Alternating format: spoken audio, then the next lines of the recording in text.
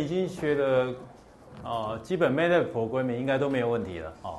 那我们今天就来看比较深入技术方面的东西。那今天要教的是 K-means clustering。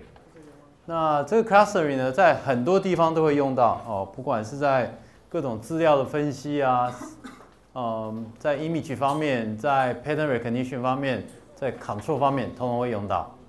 那我们针对今天就针对这个议题来把它讲清楚。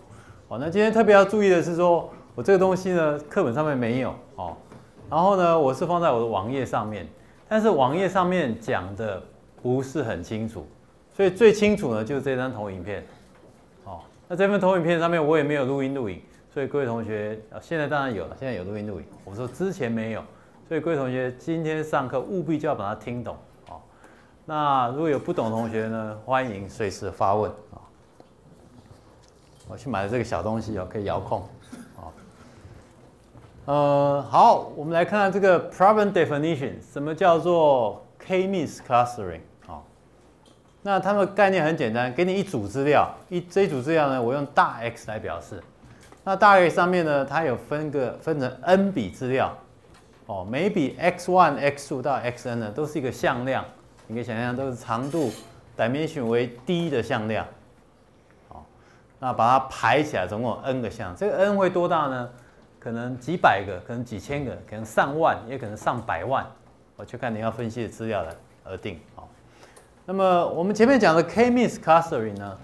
因为我们讲的 K 实际上指的是我要把资料分成 K 群。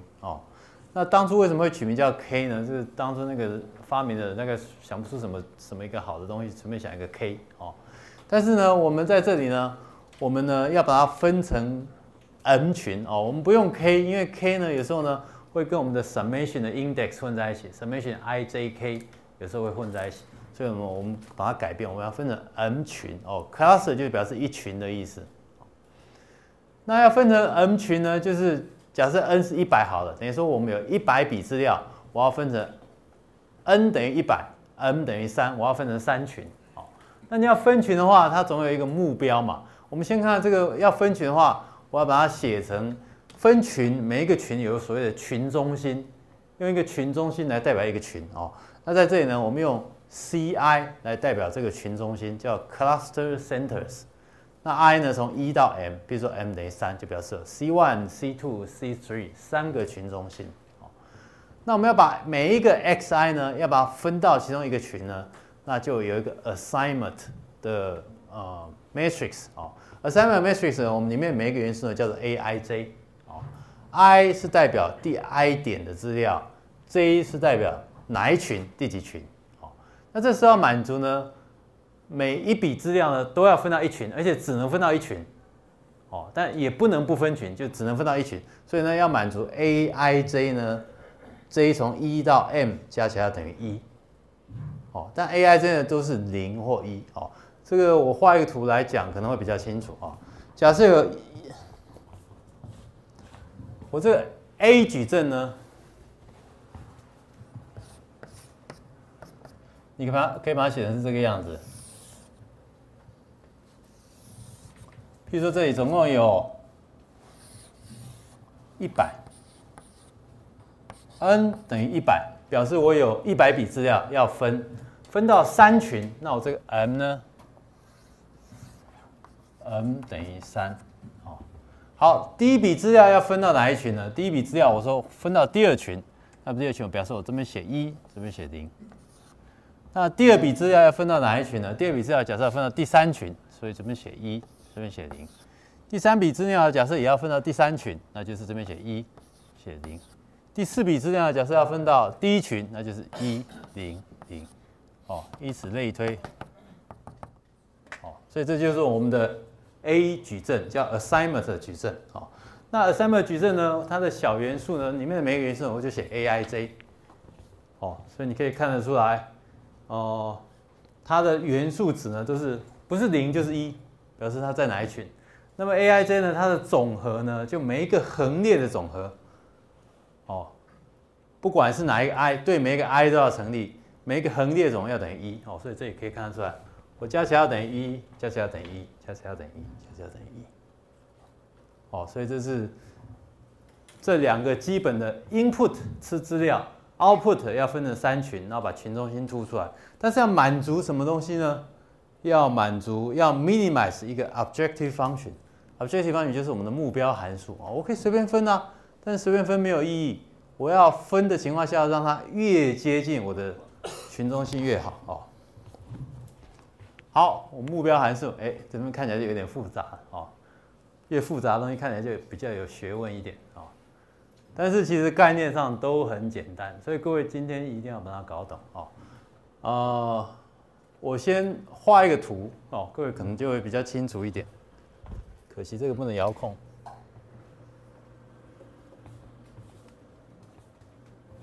好，我们假设在二度空间中的资料呢？比如说这 x 坐标，这 y 坐标，哦，假设它资料分布呢是这个样子，我打圈，哦，打叉好了。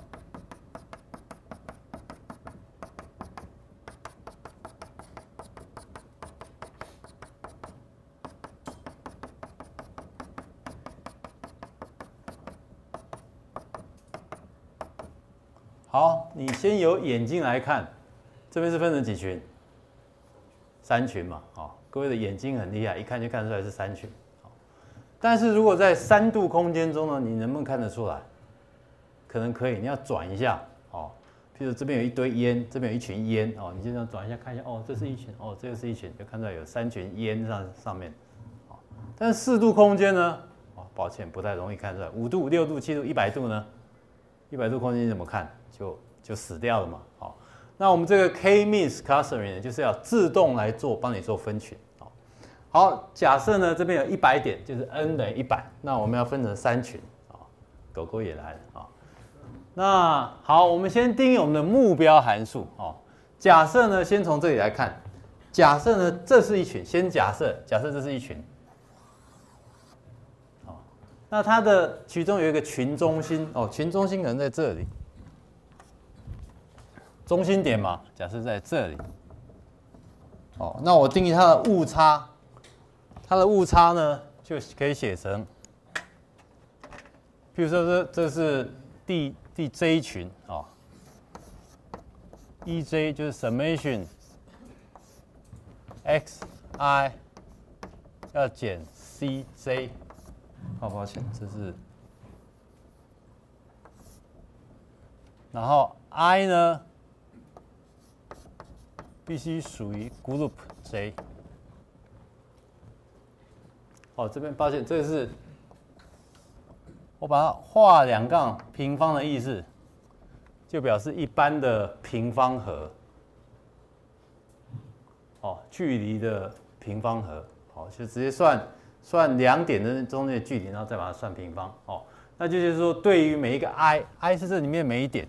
Xi 必须属于 group J 哦，必须属于这里面这个 group 的资料，然后呢，我就算它和 center 中间的距离，然后就把 summation 加起来，哎，等于说我这边就算每一点到这红色 center 的距离的平方，然后把它加起来，这就是它的误差，哦，就是因为我用等于说我用红色一点来代表其他所有点，那它误差当然就是把距离平方加起来。好，这是对于这个 class 来讲。那如果对于现在有三个 class 呢，我就把三个 class 把它加起来嘛。所以我最后得到的误差呢，哦，在这里 J。我们直接看这个投影片比较清楚哦。我写在上面可能不是很清楚哦。这个 J 呢是三个东西的函数，X 是它的资料，一百点的资料，C 是它的 center，这 center 我们还不知道是多少，这是它的参数哦。A 是它的 assignment。每一点要 assign 到哪一个 class，这个也还不知道，这两个是未知的参数，你要去决定它。哦。然后假设 m 个 class，我就把 e j 把它整个把它 summation 加起来。我们刚刚写出来，这个是对于其中一个 class 长得是这个样子。那对于所有的 j 就从一到 m 把它整个 summation 加起来。那加起来之后呢，哎，你就把这一块上面这一块，哦，上面这一块把它带进来这里面，带进来这里面。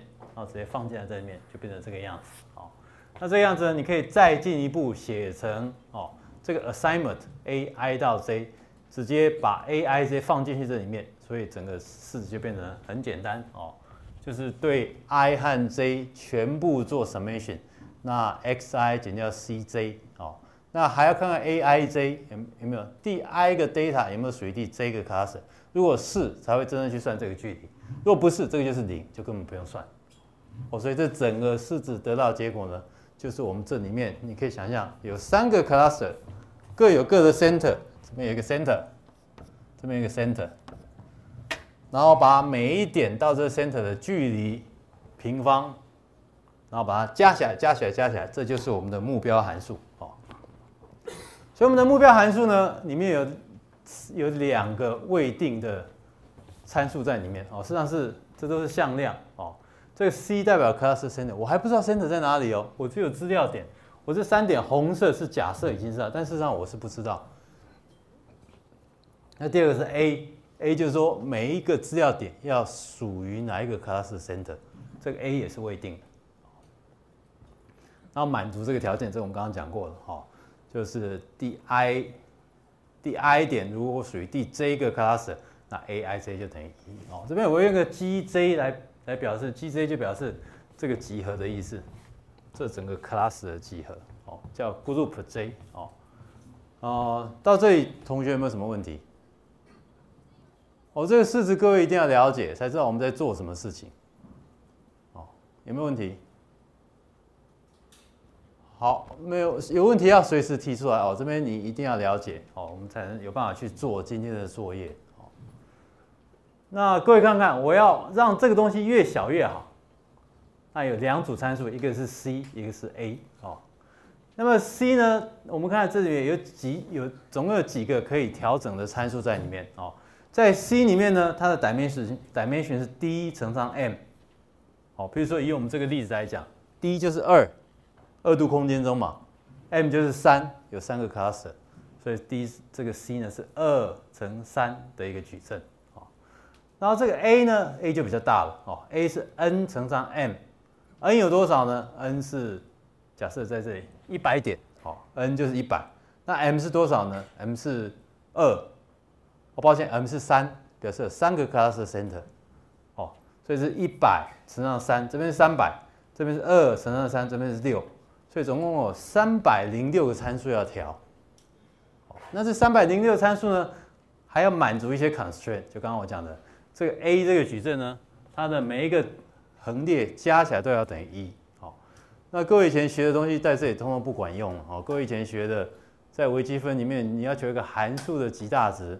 你令它微分等于零，哦，就得到它的所谓的 critical point。那函数等于零之后呢，你要还要求它二次导函数。二次导函数如果大于零，它就是相对极小值；二次导函数如果小于零，就是相对极大值。各位记不记得？哦，都还记得吧？但碰到这个，你想想，总共有三百零六个参数，你有办法去微分它吗？不太可能。好，那三百零六参数还有 constraint 在里面哦，还有这个东西加起来等于一哦，这个 constraint。所以这个就变成哦复杂，比较复杂。哦，那我们现在要解这个问题，就是要找出 J 的最小值出来。哦，那这个问题呢是所谓的 NP-hard 的 problem。哦，NP-hard 各位学 algorithm 以后就会学到。哦，就是说它没有一个 polynomial solution，我没有办法很快找到这个东西解答，但我们可以用一些近似的方法找到近似的解，但它解其实效果还不错。哦，不见得是最佳解，但是离最佳解已经不会差太远。好，我们接着来看看它到底要怎么解这个问题。哦，我们有两个，事实上哦，再回到前面哦，这里呢有两个参数，一个是 c，一个是 a。那我们的做法很简单呢，就是先把其中一个固定，比如说我把 c 固定，我就可以找出 a 使得这个函数值为最小。接着我再把 a 固定，然后再找出 c 的值，使得这个函数值为最小。那刚好就是我们的这个运气很好，刚好当你 c 固定的时候，你找到 a 的最小值。找到 a 使得这个 objective function 为最小值很容易，一下就找出来。当 a 固定的时候，你要找到 c 使得这个目标函数为最小值，也是很容易，一下就找出来。那你就反复交叉下去做，啊，它这这个这个 objective function 这个目标函数哦，记得这个目标函数又叫做 distortion 哦。为什么叫 distortion 呢？就是我们要用这三个 cluster center 来代表这所有的点，那它中间有误差的部分，我们就叫 distortion。所以它距离的平方和我们就叫 distortion。好，那所以就我们就反复的、反复的来交错，C 固定去 optimize A，再把 A 固定去去找出 C 的 optimal value。那这样反复教他去做，答案就可以逼近找到一个还不错的答案。好，所以现在就变成两个问题了哦，一个固定一组要去找另外一组答案，然后再固定这一组要找出另外一组答案啊。第一个呢，task one，我们要找出 assignment in A，哦，就是假设 C 已经固定了。有没有？我们要 find A to minimize 这个 distortion，然后 C 是 fixed。C 是 fixed 是什么意思呢？是假设这个距离，这个中心点都给你了，中心点给你了，那请请请问你找你要找出来哪一些资料是属于哪一群？那这个这一题其实很简单，这这边有一个 closed form solution，哦，那这个式子各位要看懂哦，这个式子各位要看懂，这个意思呢就是说。我要 assign A I J，我们先不看这个式子好了，先看这里。假设这个 center 是固定的，哦，假设 cluster center 是固定的，那我找出一种分群的方法，使得它的距离平方和为最小。那其实这个很简单哦，我随便找一点，比如说这一点，它应该是属于哪一群？很简单，我就看说离这个比较远，离这个比较远，离这个最近，那它就应该是属于这一群啊，对不对？然后这一点。离这个比较远，离这个比较远，离这比较近，那我就知道说它是应该属于这一群，所以我就简单的直接找距离最近的，就可以直接连过去。好，这应该没问题吧？这个概念应该很直觉哦。那好，那我们再来看说，如果是这样的话，那我们要写成数学要怎么写？哦，各位这边要看懂哦。这个意思就是说，我要找出来。根据这个 Q 是我可以变动的项目，我要找出来 I 是给定的，xi 减 cq，那 Q 一直变，找出来最小的值哦。那 Q 在这里呢，就是一二三，可能是一，可能是二，可能是三哦。那你直接相减，然后取它的距离平方和，找最小的这个 Q 呢？比如说是二，这个 argument 就取最小的最小的一个。找出一个 Q 值，使得这个距离平方和为最小。所以，譬如说，譬如说，以这个，如果今天 I 是这一点的话，哦，假设我把它标出来，这是 cluster，这是第一群，这是第二群，这是第三群。哦，假设今天你给我的 I 是在这一点的话，我可以找出来它的 J 呢就会等于二。假如今天你给我 I 是这一点的话，我我就可以找出来它的 J 的值就等于三。哦，这样了解吗？所以这个数学式子只是跟你讲说，我要 minimize 这个东西，但是什么东西会让它 minimize？我找出它的 argument，这个 q 使得 xi 减 cq 为最小。好，那么你这样做呢，可以满足一个条件，不管你给我的 a 是多少，不管之前的值是多少，我只要有 c 的值，我一定可以找出一个 a 的 p 加一，使得我这个目标函数会小于原先的目标函数。哦，所以这个就要注意，它会一度变小下去。哦，这边有没有问题？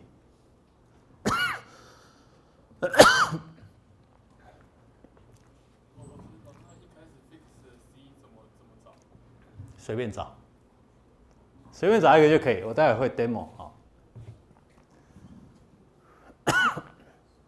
发现这天气忽冷忽热哦，让我变得有点咳嗽哦。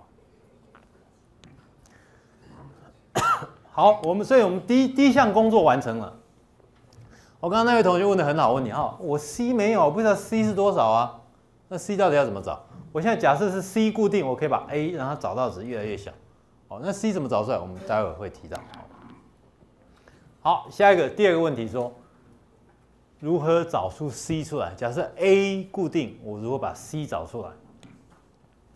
我这边就是我们要找出 C。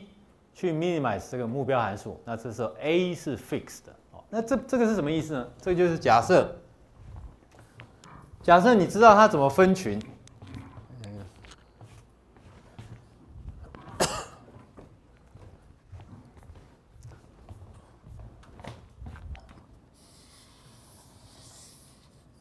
好，我不知道 cluster center，但我已经知道说我这样分最好。那我请问你最好的 cluster center 在哪里？哦，那就是可以单独分开分开来看。比如说，对于这一群来讲，我怎么样找出一个 cluster center，使得它到每一点的距离平方和为最短？哦，那简单的写就是说，你可以写成，比如说我们写，假设今天有十点好了，我假设 x one、x two 到 x 十，我可以定义一个目标函数。我的 y 是 c 减掉 xi 距离的平方和哦，这些都是向量，那 i 等于一到十哦，那这 y 是 c 的函数，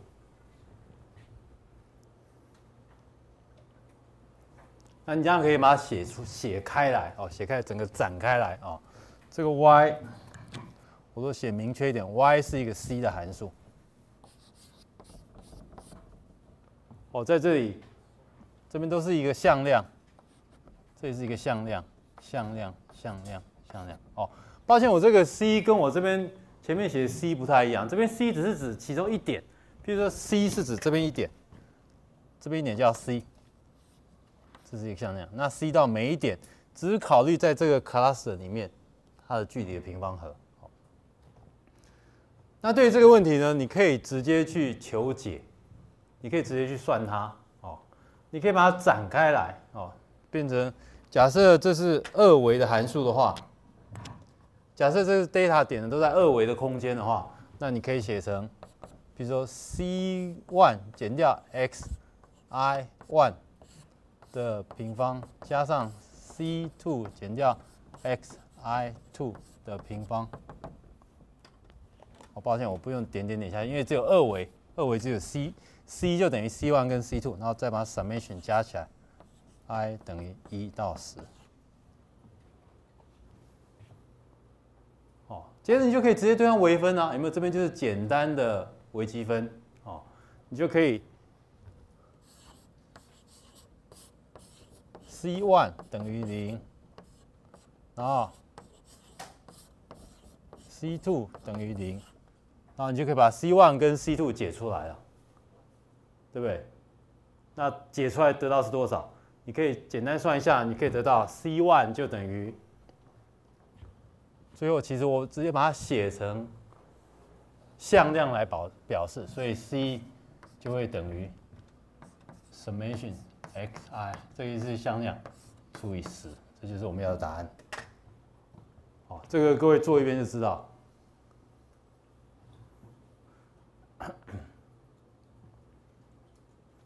我以前上次考试本来想考这一题，但是又觉得太简单了，哦。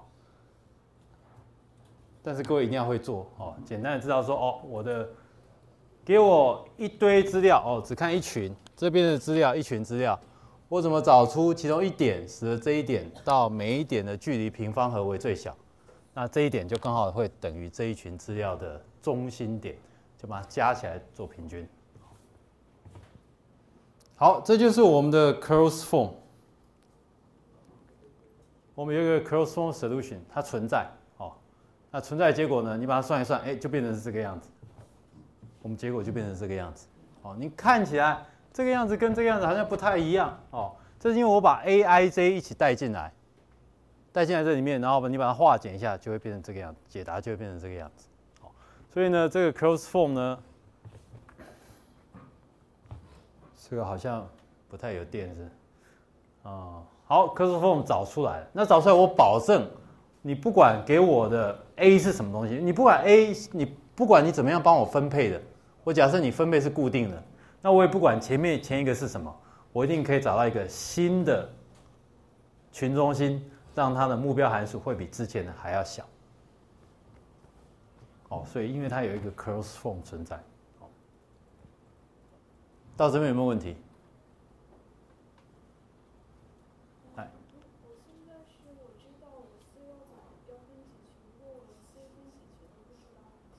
哦，那又是另外一个问题啊！你就是你问的时候，我根本不知道分几群啊，对不对？要分几群，那个是另外一个问题，那个我们后面也会再提到。我们这个问题有很多假设嘛，假设你已经知道分几群，那我们再把它带进来里面做。如果你连几群都不知道的话，那就要去猜。哦，这个我们后面会再提到。好，到这边没有问题哦，我们继续往下走。好，我们来看看这个 clustering algorithm 要怎么做哦。所以第一部分呢是 select initial m cluster centers 哦，先找出来猜 m 个出来。那刚才同学问说这怎么找出来的？这有各式各样的方法。我们先假设可以找得出来。先假设第一个假设你知道 m 是多少，第二个假设说你可以把 initial center 找出来。找出来之后呢，我们先找出 cluster 哦。你 center 已经有了嘛，我就可以知道怎么分配。所以 for each xi assign the cluster with nearest center。哦，每一个 xi 对每一点 xi，我就找哎，这有三个 cluster，哪个离我最近，那我就知道它属于哪个 cluster。所以这一部分呢，就全等于找出 a 来 minimize 我的 distortion。但是 c 是 fix，c 是给定，在这已经给定了。c 给定，把 a 找出来。好，接着下一步呢？下一步已经 A 找出来了，你要找出 center。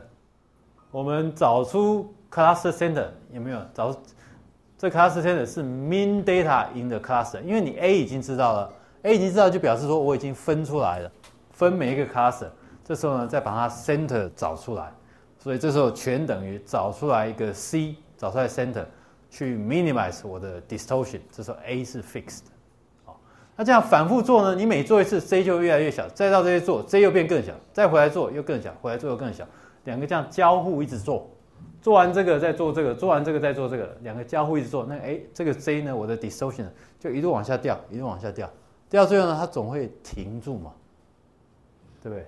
所以我的 stopping criteria 就是说，如果我的 cluster 呢两次呢经过这样一轮回，这 A 不变的话，我表示说我就固定了，就定死了，你再怎么调都不会变。所以这是一种方式，好。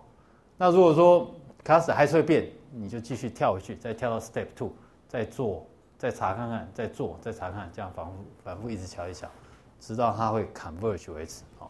那实际上我的 stopping criteria 呢，就是你要停住，什么时候要停住呢？有两种，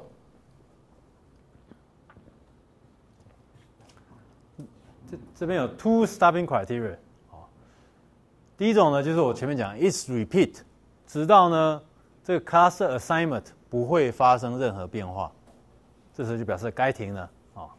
另外一种呢，就是说它可能你要走到这一步呢，可能要电脑要跑三天三夜才跑得出来，那你不需要那么麻烦嘛？你觉得说它变化量已经够小，你就可以停下来。所以另外一种情况呢是 repeat until distortion improvement is less than the threshold。我刚刚讲说 distortion 一定会变小，一路变小下去。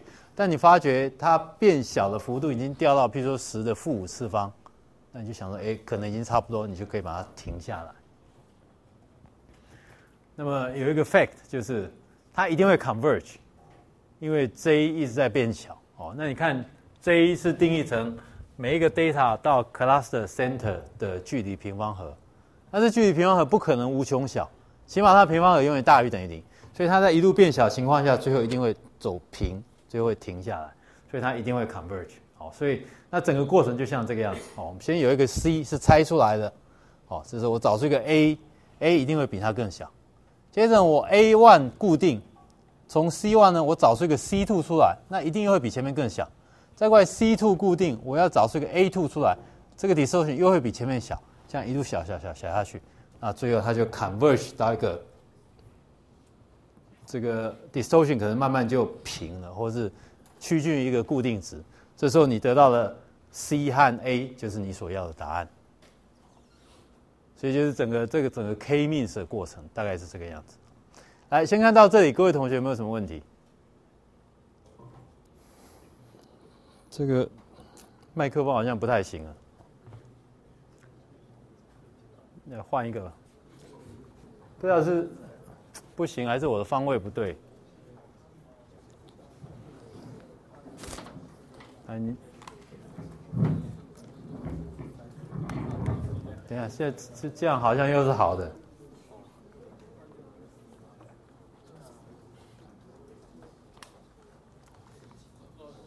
我拿着讲好了，来。就是问一下，就是它一定会 convert 到，比如说 m 一定是三的话，它一定 convert 到固定的那那三个点吗？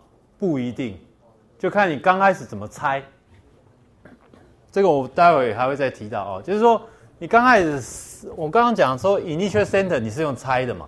你可能猜在这边这三点，或猜在这三点，或猜在这三点，出来结果可能都 会不太一样。所以他没办法保证说一定 converge 到一个 global optima，也没办法看保证说每一次跑出来的资料都一样。但起码它跑出来资料就不会不会太差，不会太太糟糕。我们可能先看下面的会比较清楚。好，它的 property，哦，这字有点多哦。这个 k-means 呢，k-means cluster 也是直接就叫 k-means 哦。它能够 find 能够找到这 approximate solution efficiently，它通常能很快的就找到你要的答案，而且还蛮快的。但这个答案呢，只是 approximate approximate solution，我没办法保证它一定都是最好的答案哦。那么这个 distortion is a mon monotonically non-increasing function，就是说它是单调，这叫什么？不递不增不增加哦，单调会递减，但是有时候会平下来，变成一模一模一样就平过去了哦。所以这样说 monotonically monotonically non-increasing 哦。目标呢是要 minimize the square error，这个 square error 就是我们讲的 distortion，这个 distortion 哦。但是呢，有时候呢，它可能中间就会停下来，可能会停在一个 local minima 里面。所以有时候 kmes 要做的时候，你可以多做几次哦。我 initial center 呢，我可能可以乱取，比如说原先资料最常见的做法就是原先资料一百点，我从这一百点里面乱取三点出来，三点取出来以后，我就丢进里面跑，然后呢，它就会跑出一个答案出来。但跑出一个答案呢，可能不是一个好的答案，你就可以多跑几次，因为它非常 efficient。你可以比如说跑个十次，跑个一百次，找出一个你的 distortion 最小答案，当做你最后的答案。哦，所以这边有讲哦，to increase the probability of finding a global maxima。抱歉，这写错了，minima 才对哦，global minima。我们 try to start k-means with different initial condition，就是从你猜那几点呢？你可以多猜几次，然后丢下去里面跑。再过来呢，我们刚刚那个同学问到说，我要找几个 cluster center 才对，也所谓的一个 cluster cluster 呃 validation。cluster validation 就是说你要通常，譬如说这这一组资料，我用两个 cluster 下去跑，跑在会有一个结果，用三个、用四个、用五个，它都会有一个最后的 distortion 出来。好，那最后呢，你可以把图画出来。哇，我要动一下这个，这个为什么没有遥控器呢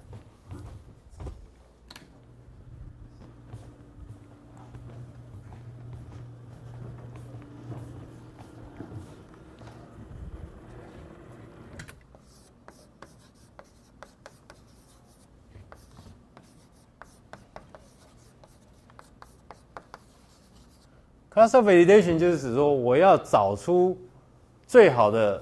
Cluster number 或者 number of cluster，那所以你就可以直接下去跑哦。譬如说这是 number of cluster，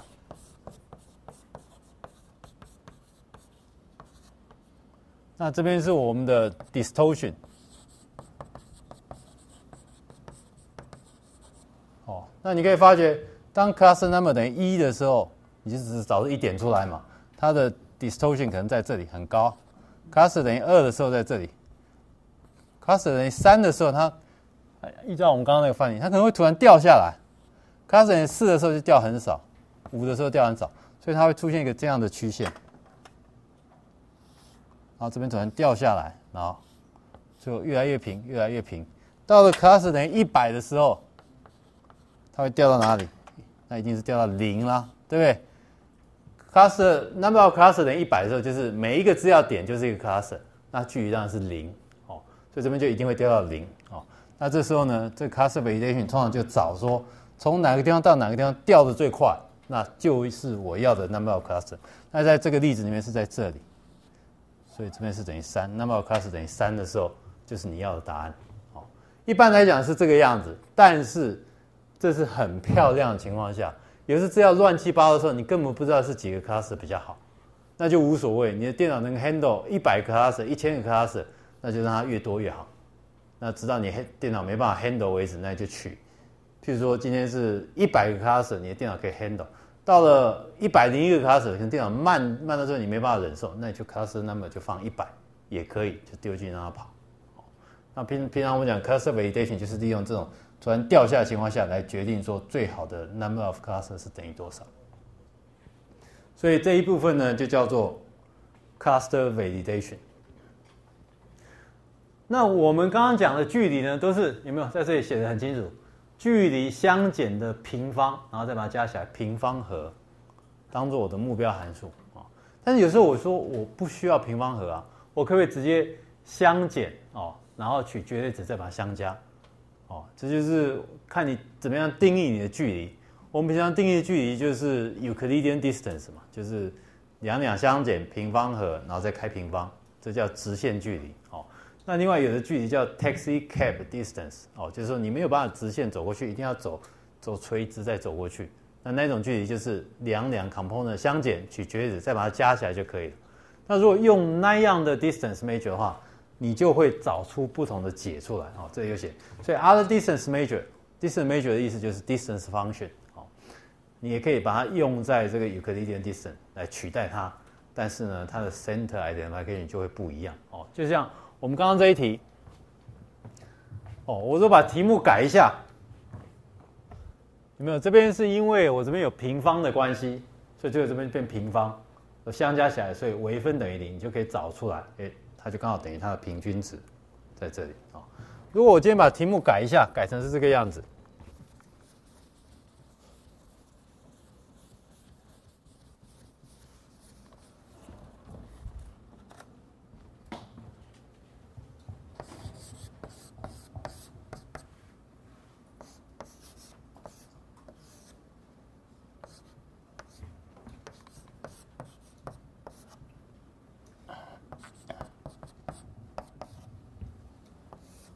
这边我写一个 one，这叫 L one no。L one no 是什么意思呢？就等于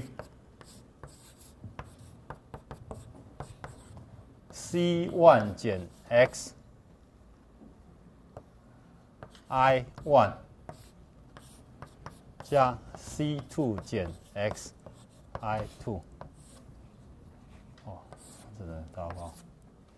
如果是这样的话，你要怎么求它极大值啊？求它极小值？这个怎么做？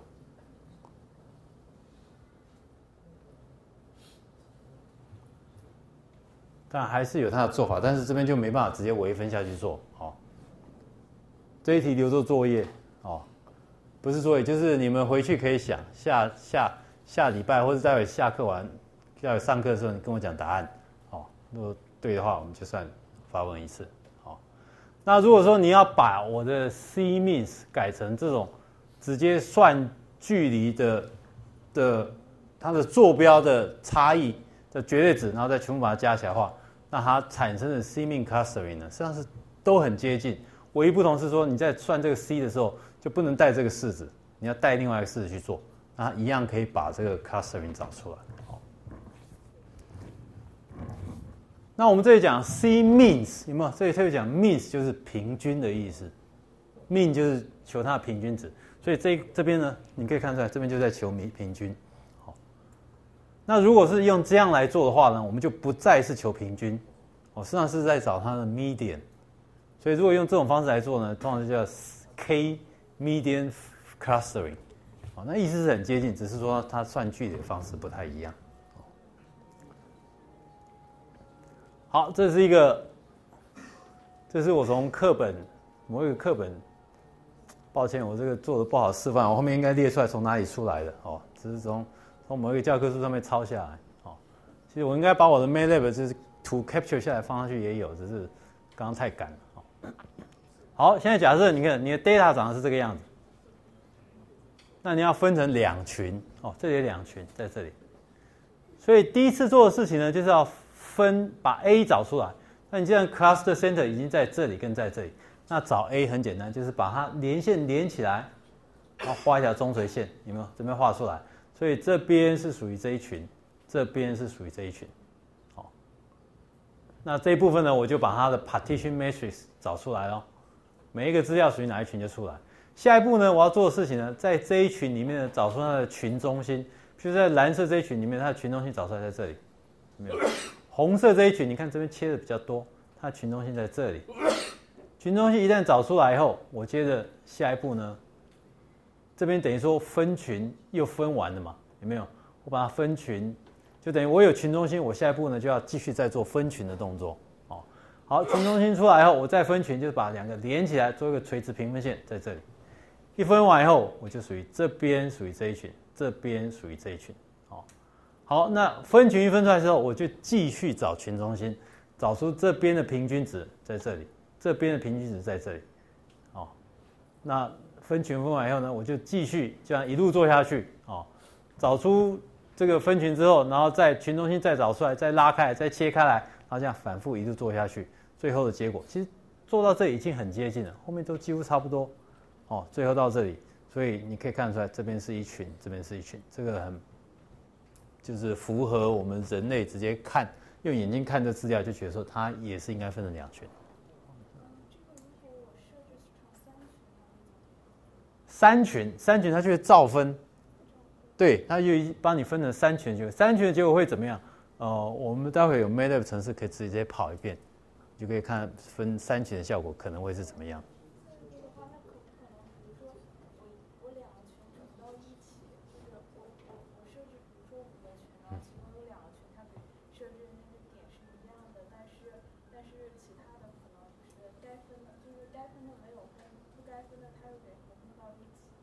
嗯，你讲的话，呃，该分的没有分，不该分的又分在一起，这个事情很难用数学去量化它哦。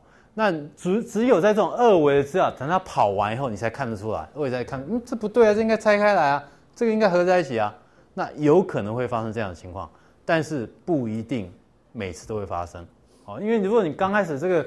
Cluster Center 是乱取的，用乱数在取的话，它每次出现结果都不一样。那最后，譬如说你跑了一百次，最后挑一百次里面中间其中出现就是一百次里面它的 distortion 最小的，通常就不会出现你所说的那种情况。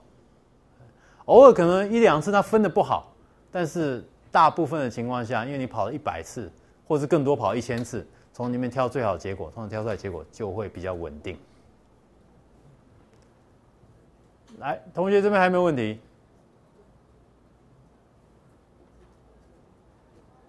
好，没有问题的话，我们先休息十分钟。